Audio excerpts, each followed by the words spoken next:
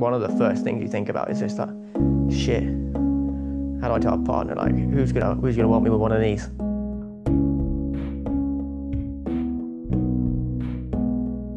People, most people just don't like things they don't understand or they don't know. So I imagine they initially, if, you, if they see it before you tell them, they're going to be standoffish and be like, hang on a minute, what is that?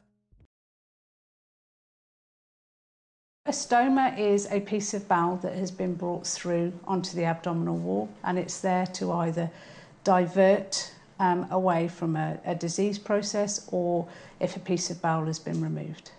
Obviously, psychologically, there are massive adjustments that people have to make to having a stoma. I always say it doesn't matter how many times you've looked at a picture of a stoma, nothing quite prepares you for when you first see it on yourself and that change in body image. My life is 100% better after surgery. I couldn't do a lot of things before. I was, you know, I was miserable. It's easy for me to understand someone else a lot of the time, but will they understand someone with this added thing crashing the party. I never understood what a stoma was until I had my surgery. Never mind the social anxieties I faced with most people not knowing or having ever seen a stoma.